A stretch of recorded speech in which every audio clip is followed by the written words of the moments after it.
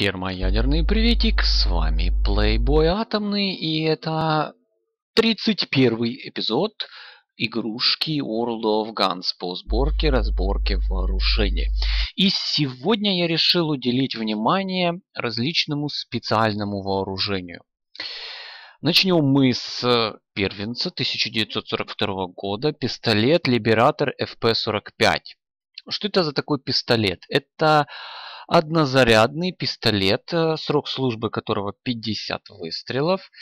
И он предназначался для партизан Европы, для того, чтобы, как бы, какой смысл был, что э, летит бомбардировщик, забрасывает э, множество вот таких пистолетов, люди находят, этот пистолет поставляется с а, а, комиксом о том, как обслуживать в картинках э, действия по очереди обслуживать этот пистолет. Э, здесь в, у него получается он однозарядный. Э, вот здесь в нижней рукоятке это просто коробочка с патронами. Там ничего на самом деле. Ну, то есть они не перезаряжаются вверх, а заряжаются в заднюю часть. Однозарядный он такой.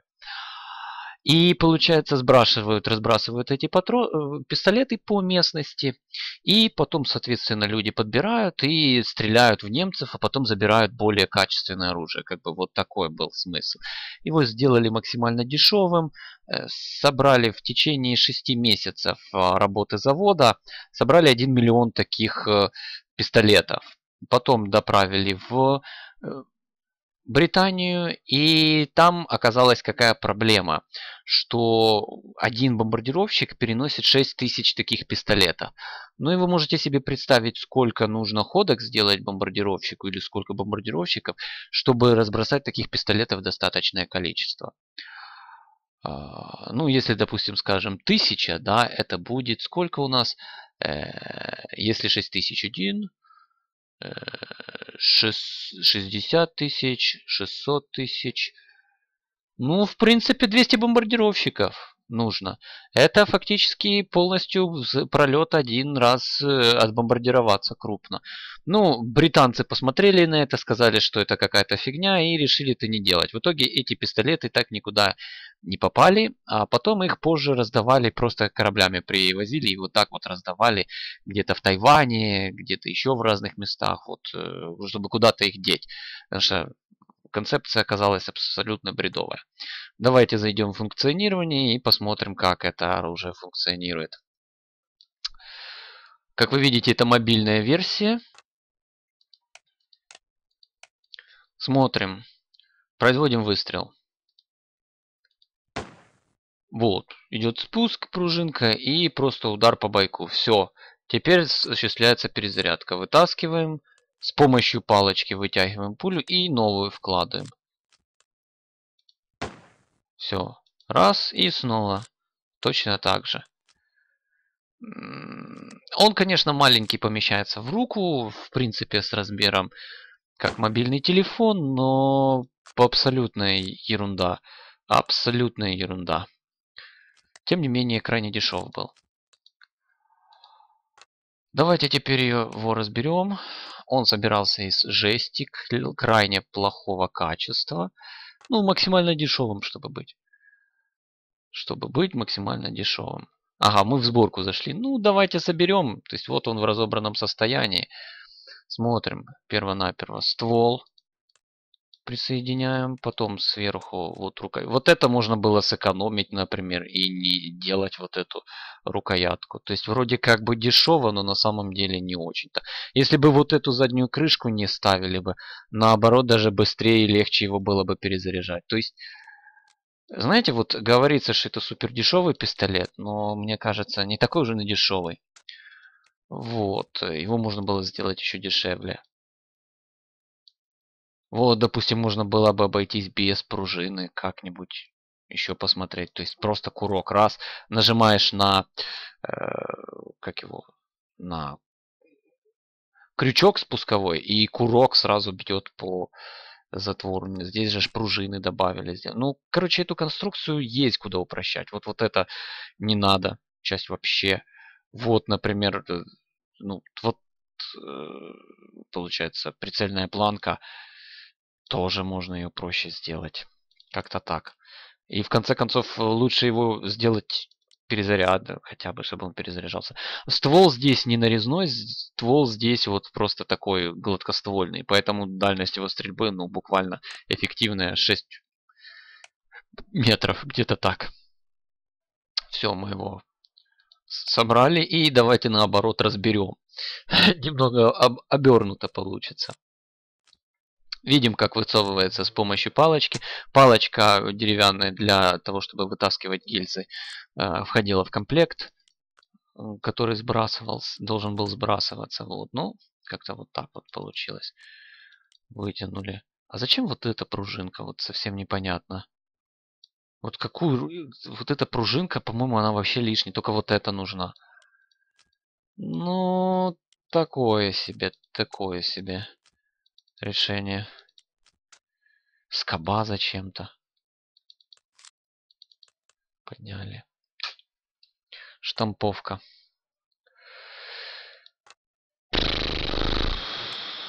Фигня, я считаю. Ну, вот такое вот вооружение. Либератор FP-45. Причем его собирали секретно.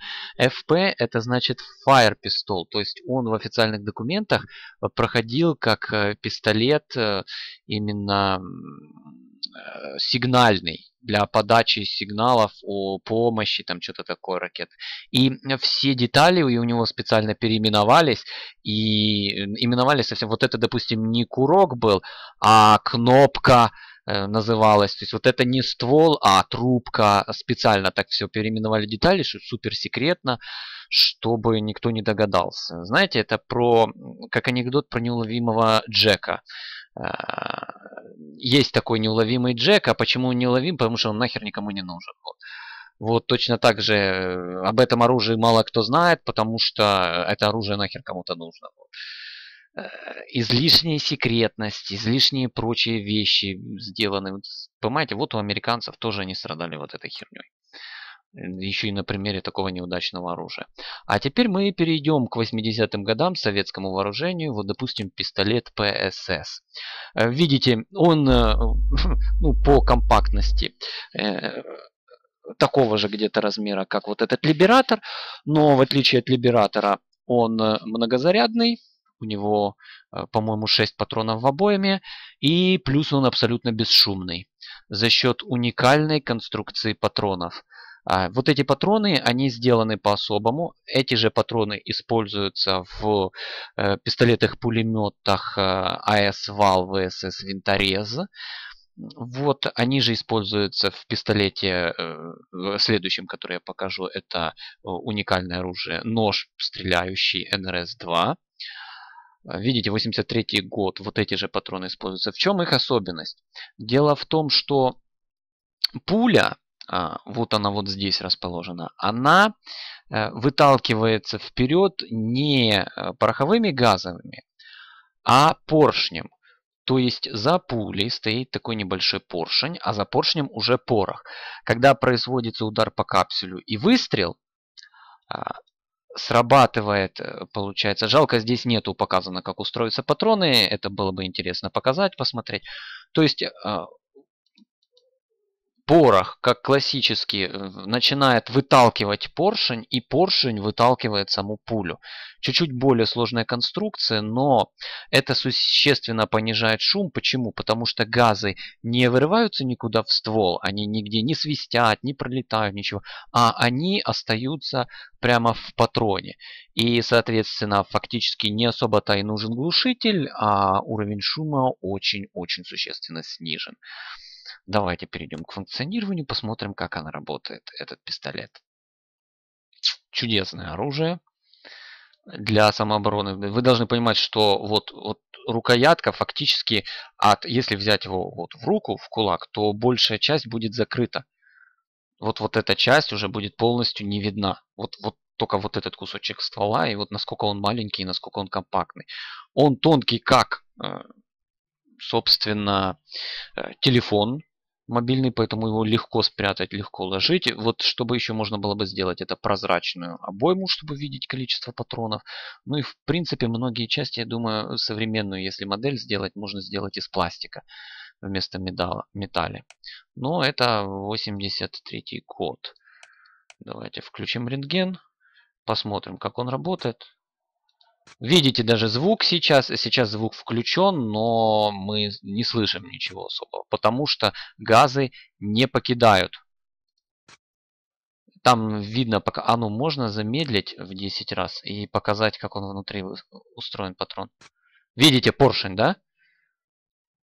То есть вот эта пуля, э, при выстреле поршень выталкивает пулю. Вот, она полетела. А сам э, этот запирается. Таким образом, единственное, что здесь э, дает шум, достаточно большой, ну, самый большой, который есть на самом деле, это вот эти клацающие части. То есть, фактически будут чик-чик-чик-чик, типа такие клацающие части, вот как-то так слышно. А самого выстрела не будет слышно, видно обоймы. То есть, он по размерам такой же, как Либератор, вот этот FP45, но это, это полноценный пистолет еще и бесшумный. Вот. Я не знаю, какие свойства у этого патрона в плане останавливающих действий, но то, что это бесшумное, незаметное оружие, понимаете, из него можно стрелять вот на празднике, в толпе какой-то, и никто не поймет, что кто-то стрелял. Э, многие спохватятся только когда кто-то там упадет и окровавленный уже будет лежать. Вот это вот оружие, я называю. Так, вот это вот оружие я называю. Вернемся. А, так, так, так, выход. Все, мы э, посмотрели, как он устроено. Теперь давайте разборку сделаем. И сразу же сборку. Разбирается он достаточно просто. Вытаскивается магазин. Все, магазин типично с пружинкой, ничего здесь необычного.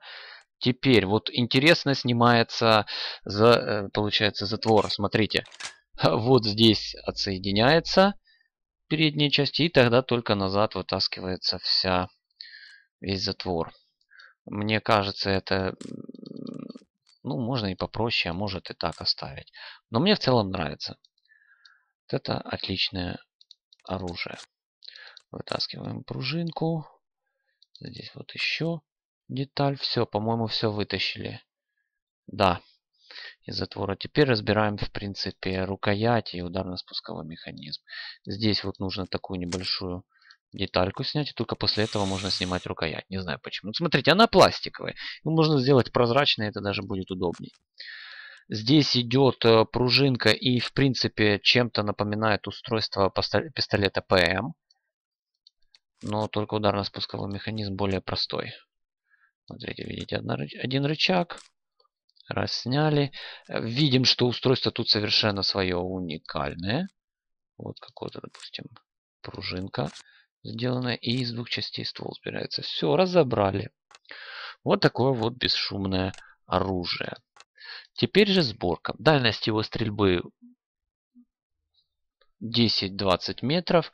Насколько я помню, он тоже гладкоствольный вроде бы. То есть он тоже весьма дешевый но он многозарядный и он бесшумный. Это уже существенно лучше, чем... Э, и его можно применять больше, чем 50 выстрелов, чем у FL 50. Ну, конечно, годы выпуска чуть-чуть другие. Да, крайне интересная конструкция. Давайте сюда. Вот теперь вот эти детали Поставим. Есть. Курок. Пружина. Прямаем все. Э, так, теперь ручку нужно и этот приклад. Я бы еще подумал бы, каким бы образом стандартизировать вот этот пистолет и нож, стреляющий на раз 2 чтобы запчасти были ближе к друг другу сходные. Все, собрали.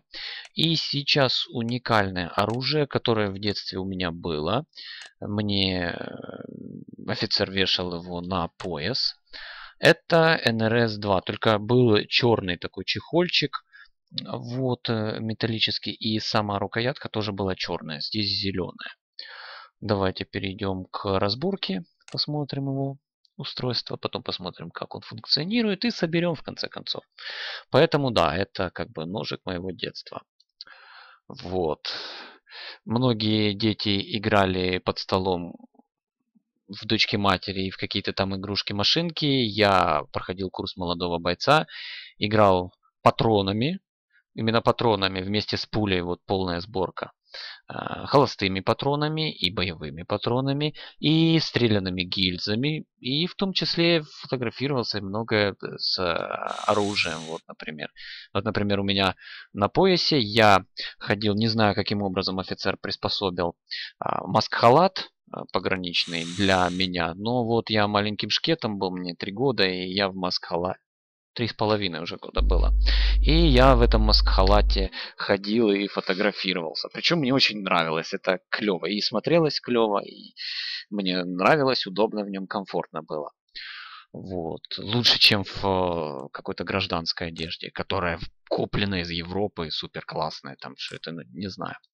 Кстати, я смотрел видео, э, снимает э, бывший военный, морской пехотинец США, он снимает различные камуфляжи и показывает, как он в лесу маскируется. Это с точки зрения полезно, с точки зрения понимания, как работает маскировка.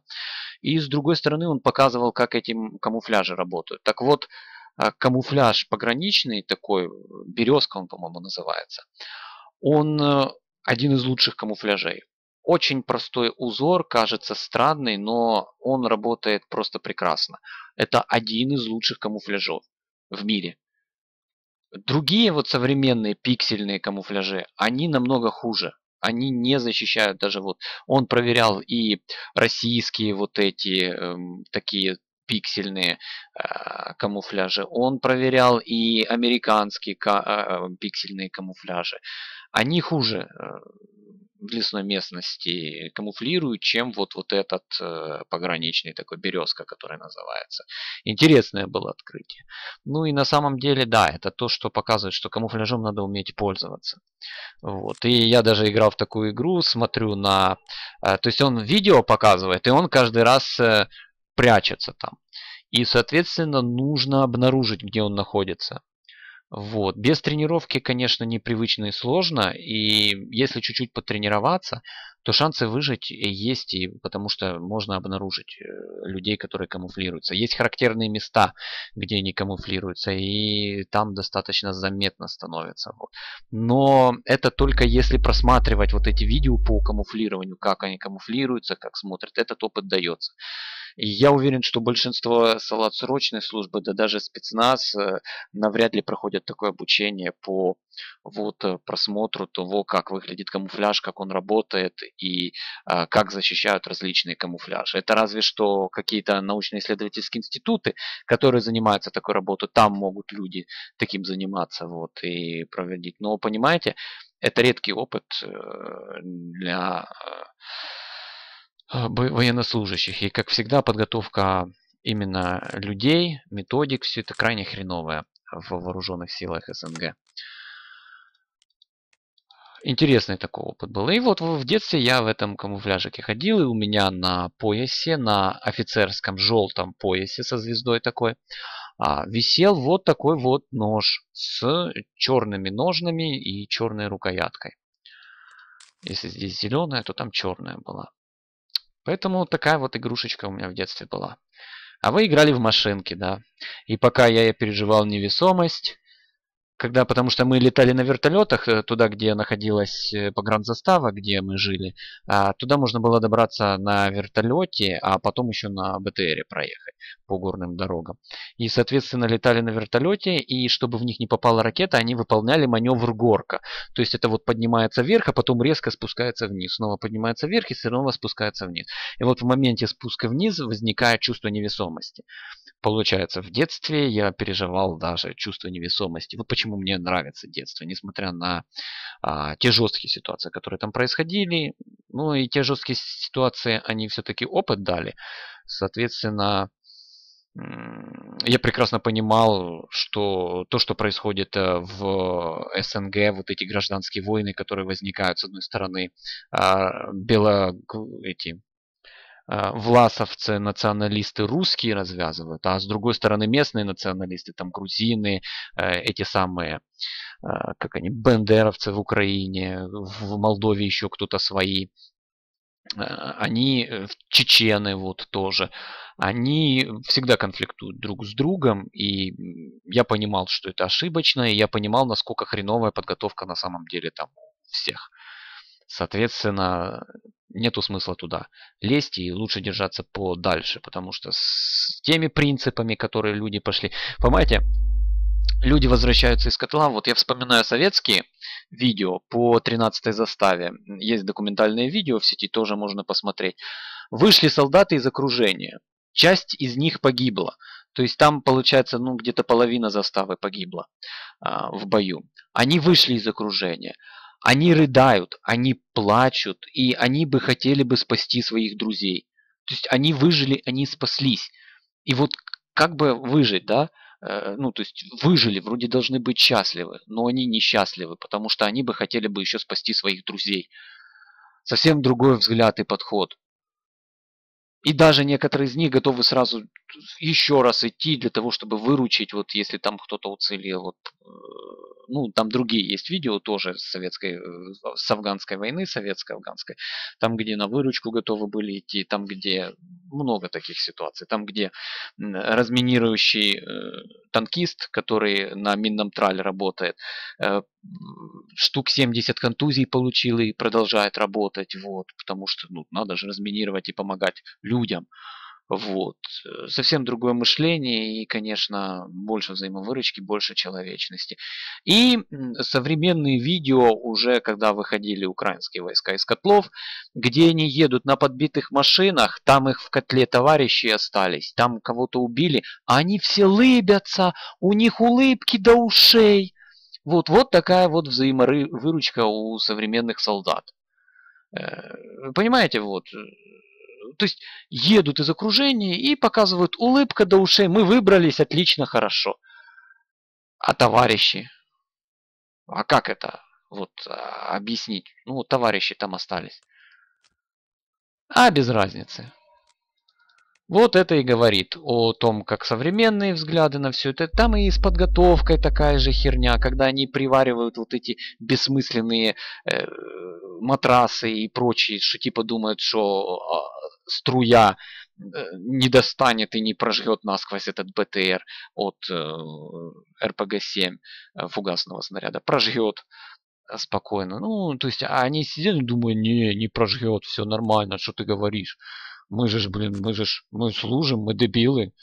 Мы лучше знаем, как оно на самом деле устроено. А то, что в сети есть тесты, показывают разнесенная броня, там разнос 2 метра. 2 метра разнос. И оно прожигает все нас, насквозь, нафиг.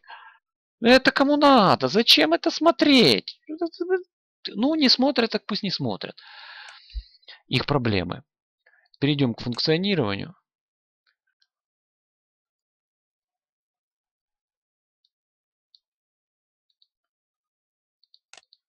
Самое интересное, что то, что я рассказываю, мне можно рассказывать, потому что никаких бумажек в три года я не подписывал, соответственно, никакой секретности нет. Меня видим. Это тот же патрон, если мы сделаем замедление, сейчас замедление 10 раз. Давайте сделаем взвод. Сбоку вот взводится курок. Все, он взведен. И вот здесь кнопка выстрела. Давайте чуть-чуть повернемся, чтобы посмотреть, как производится выстрел. Вот, нажим, отворачивается и производится выстрел. Здесь вот такой, видите, вот этот поршень, который запирает газы, и, соответственно, выстрел бесшумно идет. И видим, что ствол прикрыт фактически только резиновой вот такой вкладочкой. Давайте перезарядка и выключить. Мне не нравится механизм перезарядки. Вот смотрите, нужно вытащить ствол, потом его вставить. И я бы хотел бы какой-то более простой, допустим, как у гранатометов подствольных ГП-25, ГП-30, когда граната вставляется просто через ствол и проталкивается туда. Вот я бы хотел бы, чтобы курок взведения, то есть мы вставляем патрон сюда, и потом с помощью курка взведения он доводится назад к бойку и готов к выстрелу. Э, кроме того, мне не нравится, сколько надо разных действий сделать. Вот, допустим, смотреть, взвод, да, прежде чем сделать выстрел из ножа. С моей точки зрения, это должно быть одним пальцем взведение и этим же пальцем выстрел, чтобы человек даже не мог понять, что перед ним нож э, большим пальцем Вот, вот здесь. А, он взводится и потом просто наводится и выстреливается. Все. Вот. Это фактически оружие рукопашного боя. Огонь. Поэтому, я думаю, может есть даже NRS-3, а, куда развиваться этой э, модели есть куда. Выходим. Давайте начинаем сборку. Вот. Точно так же я, например, присутствовал в три года а, в зале офицеров, там, где они э, планировали э, бой тактически, сидели над картами, принимали решение, что делать, вот, и каким образом э, решать ту или иную задачу. А, поэтому в три года я знал намного больше и пережил даже боевые действия больше, чем ну, все вы, кто может посмотреть это видео, зрители. Как-то так. Вот. Видим здесь механизм вот этот боковое заведение. Мне не нравится, как сделан. Можно проще и лучше сделать. Вот. Перезарядку, да, устанавливаем. Заведение. А как? А, тут не подписано, как, к сожалению. И вставляем. Все, осталась одна единственная деталька. Вот эта вот пимпочка. И также присутствовал в классах по политподготовке, когда нам объясняли, что делают советские войска в Афганистане. Всем солдатам это объясняли. И я там присутствовал, я все это слушал и запоминал. Вот. Наверное, поэтому я и остался более патриотичен и более привержен к Советскому Союзу. Потому что, в отличие от э, детей, школьников, которым все это из рук вон плохо, преподавали политподготовку. Э, я проходил курс военной политподготовки в возрасте трех лет.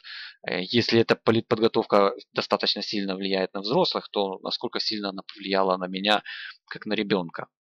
А, вот. Соответственно, поэтому я и остаюсь, наверное, верен Советскому Союзу э, и лучше отношусь, потому что, да, эта подготовка оказалась политическая правильной. И вот такую подготовку нужно проводить всем детям а, с трех лет.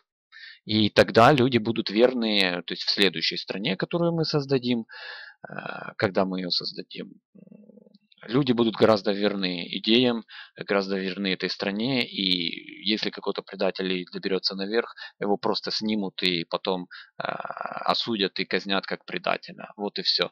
И никто подчиняться ему не будет, как не подчиняюсь я. Вот так вот. Прикручиваем последнюю деталь. Вот такие вот спецвооружения. Мы посмотрели на американский э, пистолет, получается, как он называется, ну, партизанский. НРС-2. Мы посмотрели на советское специальное бесшумное вооружение. Вот вспомнили мое детство, когда у меня был вот такой вот ножичек. Ну, соответственно, как-то вот так вот. Еще был NRS-1, но я не знаю как. Может быть, кстати, у меня был не NRS-2, а вот NRS-1, первая модель. А, этого я уже подробности не знаю. Вот я знаю, что вот такой же чехол был, что вот такая конструкция приблизительно была, только черная. Ну, то, что помню вот по детству. Ну, а с вами был Playboy Атомный. Оценивайте видео, пишите комментарии, скажите, что я не прав, что я какой-то плохой, вот так и так. Или не скажите, наоборот, поддержите. Тоже будет приятно, хорошо. Даже это будет приятней. Ну, а на этом все. До следующей серии. Только революция, только победа.